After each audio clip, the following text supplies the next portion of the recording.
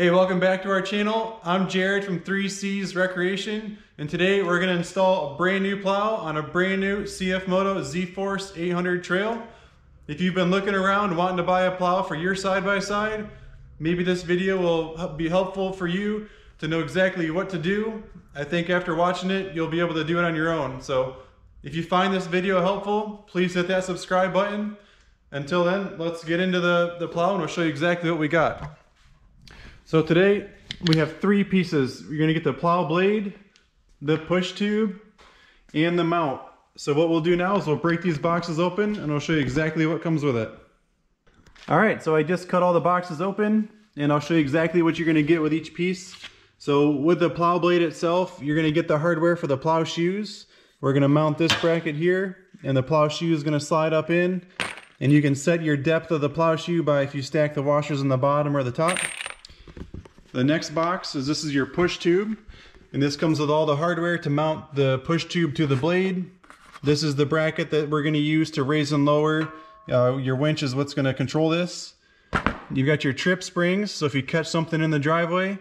And then the last piece is the pins. This connects the push tube to the mount. Once we have the mount on the side by side, we'll line it up, put this in, we'll put the cotter pin in. And then the last piece that you get is your uh, push or your uh, mount. This is going to mount directly to the bottom of the side by side like this. And this is the appropriate hardware for that. So three different boxes and um, you have to order each one individually.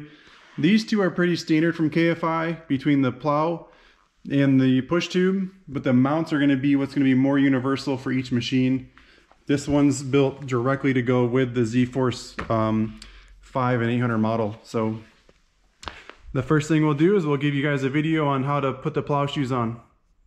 Okay, so for the plow shoes, they want this this uh, notch on this mount to be at the bottom of the plow. So it's gonna sit just like this. And you're gonna see two different lengths of bolts in the kit for the KFI. Um, and I always use the shorter bolt on the top because if you look how this is tapered, we wanna use a shorter bolt up on the top, longer bolt in the back. Um, and you want to bring the bolts in from the top. So what I use is our open end wrench and I sneak the, the, the nut on there like that and I slide it in and we just tighten it down. And then we'll use the one in the back and we'll do it again with the nut. That way I'm not trying to reach in there with my hands, the, let the wrench do the job for me. So we'll get these tightened down next. Okay, now that we got our mount bolted down tight, now we can just put our plow shoe in and on the directions, what they always want us to do for a starter is uh, one washer, both of the thicker rubber uh, grommets, another washer. So you slide this in and then we're gonna stack all the remaining washers on the top to keep it from getting floppy. And then we just slide our pin in. And so that's a plow shoe. I'll go ahead and do the same thing on the other side and then we'll stand this blade up and we'll get it attached to the mount.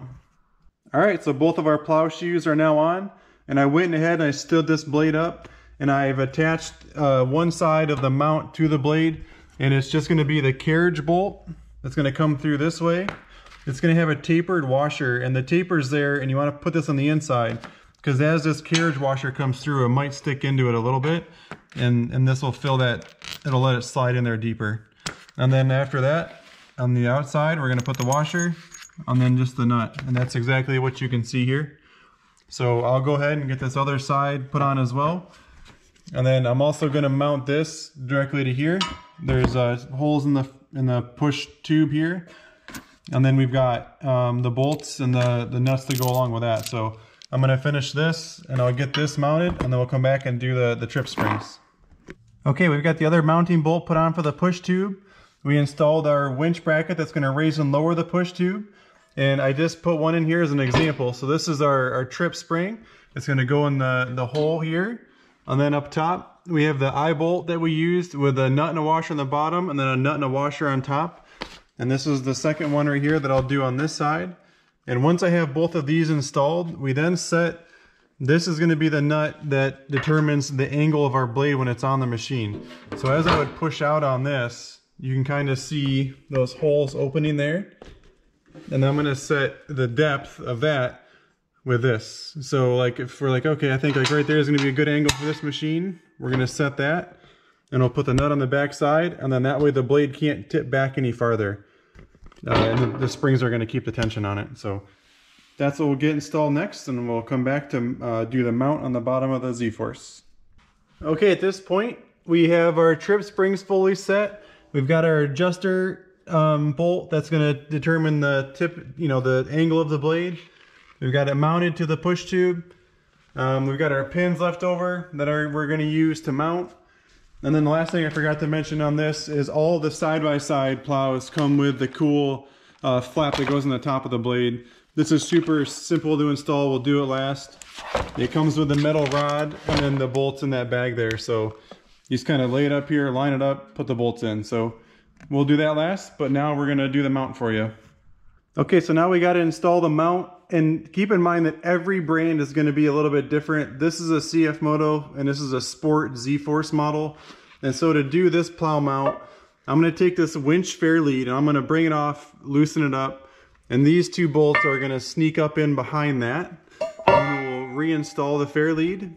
And then coming down from this lower frame bar, we're just gonna hang these U-bolts right here. So this one's super simple. It's um, loosen these two bolts, set it up there, put them back in, and two U-bolts in the back. So I'll go ahead and install this now, and then we'll come back to it and I'll show you guys how to hook the push tube up to the mount. Okay, so that was pretty easy. We just pulled these two bolts out, slid this up, put it back in. It came with longer bolts, obviously because of the thickness of this metal. Put those back in, didn't really get them all that tight. That way this could fluctuate and move around a little bit. Then we got our two U-bolts installed in the bottom and we, we tighten them evenly. So now we got the mount on the machine, we got the push tube done. And also while I was away, I, I installed our flap on the top. Like I said, this was super simple. It just has this metal bracket and these, these carriage bolts that come up through and they just kind of go all the way down through the top there. So this is installed, mount on, and now it's literally super simple for us. All we're gonna do, I'm gonna set you guys down so I can use both hands here. We're just gonna pick this up and line it up. You might have to pull the machine forward or back a little bit. Okay, so that side's in. And then we just take our cotter pin, put it in. Then we'll do the same thing on the other side there.